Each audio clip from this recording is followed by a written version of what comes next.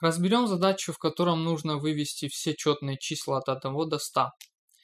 Воспользуемся циклом for. Итак, так как нам нужно взять каждое число от 1 до 100, то мы просто переберем в переменной цикла все числа от 1 до 100. То есть у нас переменная i равно единице. Далее у нас цикл выполняется, пока оно меньше либо равно 100 то есть оно примет значение 1. Далее 2, так как у нас третье выражение инкрементирующее. Далее примет 3, так далее 4 и так далее. Последнее значение, и при котором мы зайдем в цикл, это будет 100. Давайте разберем теперь, что выполняется внутри цикла. Итак, у нас есть условное выражение. Там проверяется, если наше число i делится на 2 без остатка.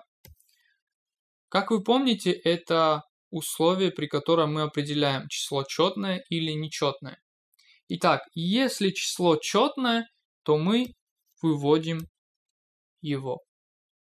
Итак, то есть мы первый раз зайдем при i равном единице, проверим 1% на 2 равно нулю. Не равно, значит мы сюда не зайдем. Продолжится обратно. Далее будет i равно 2.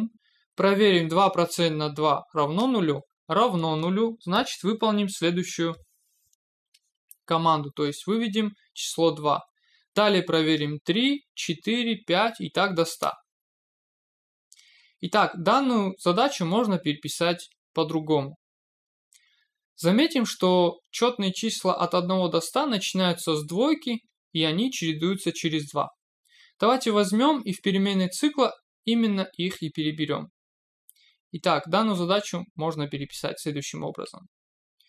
Итак, переменная цикла в начале равно 2.